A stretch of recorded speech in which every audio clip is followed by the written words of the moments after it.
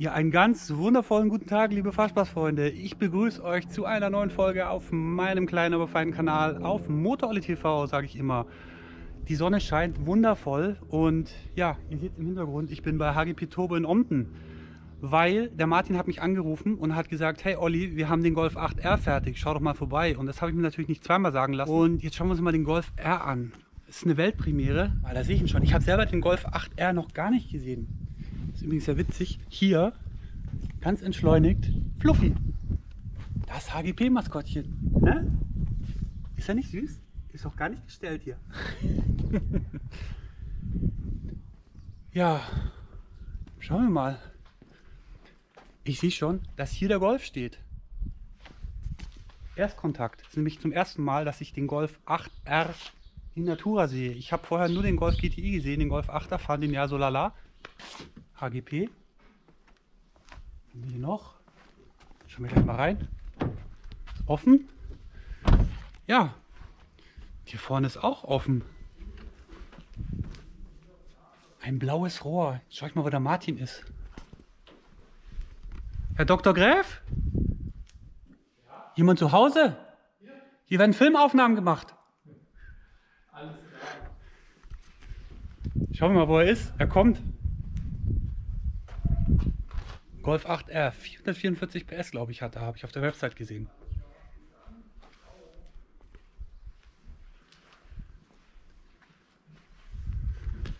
Ah, Immer Olli. busy. Olli, und es ist nicht gestellt. Ich habe nicht gesagt, geh jetzt da rein und tu so, als würdest du telefonieren.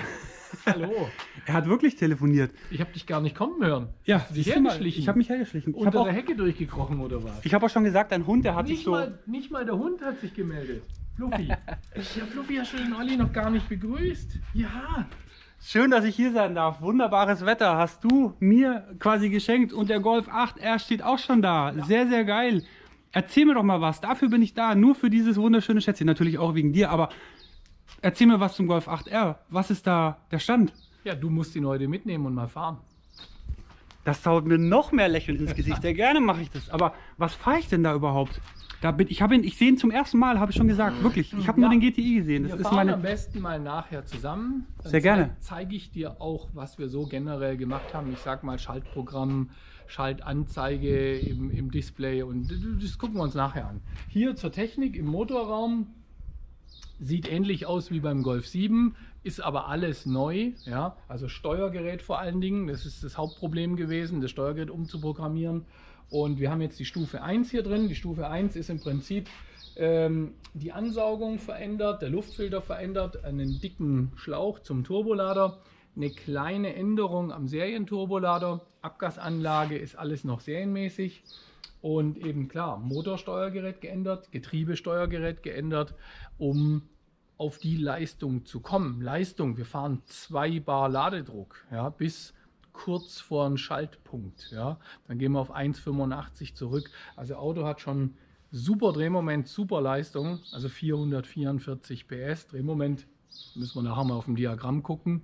Wir haben den ja letzte Woche 564 Newtonmeter. Ich habe nämlich gerade ah. mal am Handy geguckt, weil ich war auch selber überrascht. 444 PS ist eine Schnapszahl, aber auch schon eine ganz schöne Ansage. Ja. Und man muss dazu sagen, es gibt, ähm, also sage ich jetzt, äh, es gibt weltweit vermutlich noch keinen, der das kann. Also ich habe nichts gefunden. Und Golf 8R ist halt eine komplett neue Infrastruktur, neue Steuergeräte ja. etc. pp. Da steckt extremer Entwicklungsaufwand dahinter. Lass uns mal Zahlen, Daten, Fakten. Was kostet der Kit? Kit wird 9.800 Euro mit Einbau und TÜV-Abnahme kosten. Okay. Das Auto läuft über 300, hat, hat super Fahrwerte. Du wirst es ja sehen. Du nimmst die Kiste jetzt mit und dann werden wir sehen, was du dazu sagst. Ich freue mich auf jeden Fall, weil wie gesagt, ich bin immer gerne hier und ja, ich nehme auch gerne die Zeit natürlich. Ähm, drehst du mit mir eine Runde? Ich zeige dir beim Fahren mal kurz, was wir so gemacht haben. Nimmst du mich mal mit, weil es ist auch mal eine Premiere. Normal feiere ich immer und jetzt fährt er mal, würde ich sagen. Freue ich mich drauf. Okay. Coole Sache. Also, wir starten. Geil. Ja, Freunde. Erste Sitzprobe im Golf 8R für mich. Hier, der Chef persönlich fährt mich diesmal.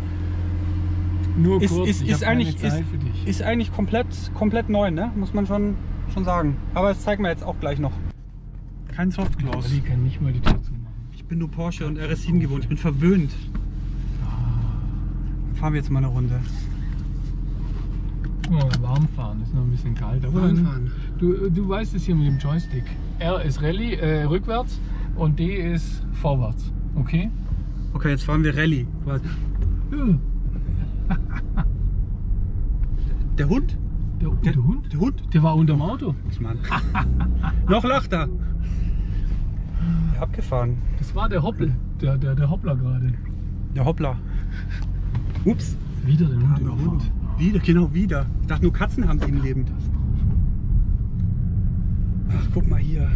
Martin Gräf persönlich fährt mich, den unbekannten Autotypen, im neuen Golf 8R. Kann man, kannst du mal aus dem Nähkästchen irgendwas plaudern? Wie läuft sowas ab? Ich meine, so, so eine Steuergerätentwicklung, so, so, so klar, ähm, nicht zu viel, ne? aber wie, ne? was Gut. muss man alles machen? Das versteht ja der Ja. Normalsterbliche gar nicht. Also, Das- ja gut, also so ein Steuergerät, die Schwierigkeit ist in so ein Steuergerät die Daten reinzubekommen. Aber vorher noch, diese Steuergeräte sind halt verschlüsselt, da kommt man nicht drauf. Dann das, das ist ja nicht nur die Leistung erhöhen über den Ja gut, Ladedruck, sondern das muss ja alles ineinander zwei, greifen. Das sind, ne? das sind zwei Baustellen. Außerdem sind es ja auch noch Getriebesteuergeräte Ja, und so, ne? das sind zwei Baustellen. Baustelle Nummer eins ist das, wie bekomme ich das in das Steuergerät rein? Und dann ist die Baustelle Nummer zwei, wie, was bekomme ich in das Steuergerät rein? Ja? Und ähm, da geht es eben darum, ähm, zu sagen, ja, erstmal muss man es da reinbekommen, was man ändern möchte. Ja? Den Änderungswunsch sozusagen. Jetzt sag mir noch mal eine, eine Sache, da darfst du gerne auch kritisch dich äußern, aber äh, es, da ist ja so viel Halbwissen auch äh, da draußen.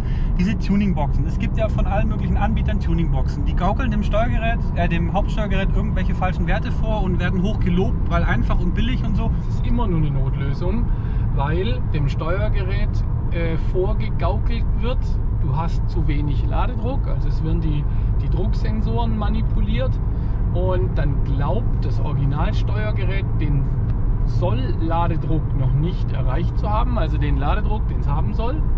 Und dann kann man im Prinzip durch Manipulieren der Werte ähm, im Prinzip, man sagt dem, dem Drucksensor oder diese, diese Zusatzbox sagt dem Motorsteuergerät, du hast deinen Ladedruck noch nicht erreicht, also regelt er den Ladedruck etwas nach oben. Das geht aber nur in einer ganz kleinen Range, weil sonst sämtliche Notlauffunktionen vom Original-Motorsteuergerät zuschlagen. Ja? Also das Motorsteuergerät erkennt das an anderen Parametern, weil wenn ich mehr Ladedruck habe und das Steuergerät glaubt, original zu sein, äh, kommt ja Kraftstoff nicht hinterher. Also es hat dann zu wenig Kraftstoff, der Zündwinkel kann nicht verändert werden und und und. Das ist im Prinzip, ähm, ja, es ist nur eine Notlösung und es bringt auch sehr, sehr wenig Leistung. Sehr, sehr wenig. Es gibt Steuergeräte, die erkennen eine Zusatzbox und nehmen dann nicht hart, aber sukzessive die Leistung auch wieder zurück. Das gibt's. Okay. Also habe ich mit der Zusatzbox dann nur kurzfristig mehr Leistung.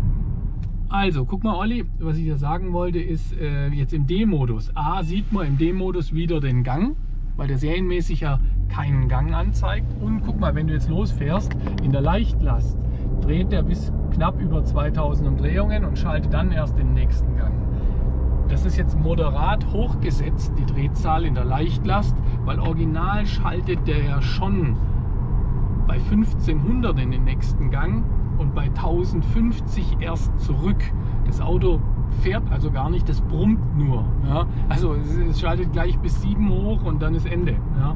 Wir haben das also moderat hochgesetzt, ähm, weil dann muss ich, wenn ich ein bisschen mehr Gas gebe, muss er nicht gleich zurückschalten, ja? sondern er ist schon automatisch einen Gang tiefer wie vorher. Ja? Also es ist agiler, das Auto ist agiler dadurch. Ja? Also D-Modus ist angepasst und, ähm, und er zeigt auch die Ganganzeige an.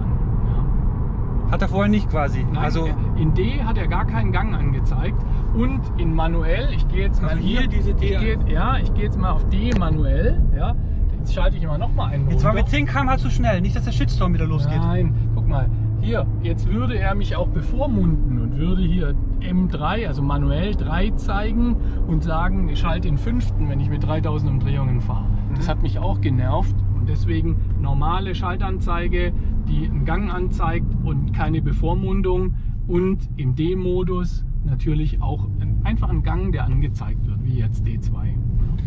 Warum ist es denn entfernt worden? Das ist ja total Blödsinn. Also, Keine Ahnung. was macht ihr VW-Jungs da? Man hört auch im S-Modus, der bollert ein bisschen, ne? Ja, ein kleines bisschen. Wupp, wupp. Oh, klingt schön. Nicht schlecht. Schau nochmal zurück, extra für dich. Nur für mich. Der äh, erste Eindruck wirklich super. Ihr werdet es dann im Fahrvideo sehen. Habt ihr noch Fragen? Dann als Kommentar bitte sehr gerne posten. Hast du denn noch Fragen? Ich? An dich? Ich, An mich, Ich genau. habe immer Fragen. Gibt es eigentlich Zeiten schon? 0, 0200? Nee, musst du doch mal machen. Musst du mal machen. Was denkst du so? 3,8, 3,7 sowas in den Dreh? Die Ja, 426 also PS, die 426 PS Version, die hat 3,8 gemacht, glaube ich. Ne? Ja, die hat 3.8 gemacht damals, ja, beim 7er Golf. Komischerweise macht ja der, hat der 8er Golf serienmäßig der zwei Zehntel langsamer angegeben wie der 7er. Es geht bergab mit der, äh, äh, mit der Kfz-Industrie. Nur noch Nee, es kann- Elektroautos. es kann natürlich er ist sein. schwerer wahrscheinlich, keine Ahnung. Es gibt ja nur noch als Viertürer hier den 8er und der ist natürlich schwerer. Ach so, genau, ne? Seht ihr auch hier, Viertürer, kein äh, Ja. sportlicher Dreitürer. Ja. Ja, ist für VW geiler, ne? Ist günstiger. Wird überall rationalisiert. Ja. Ich sag 3,7 Ich sag minus 3,6. 3,6. Wir werden es erfahren, vielleicht. Zum ersten. Okay, gut. Zurück bei HGP Turbo, die kleine Ausfahrt ähm, mit Martin Greff persönlich, der hat mich abgeschleppt quasi. Es war eine Weltpremiere für mich im Golf 8R und eine Weltpremiere im Golf 8R getuned von HGP. Hat Spaß gemacht. Ihr seht in einem separaten Video natürlich noch Fahreindruck zu dem Wagen. Wenn ihr Fragen habt, kommentiert Ich verabschiede mich von Martin. Ich gebe wie immer die Ghetto Force. Wir sind natürlich alle negativ auf Corona getestet. Schnelltest, alles gut. Adieu, haut rein, bleibt sauber. Bis bald.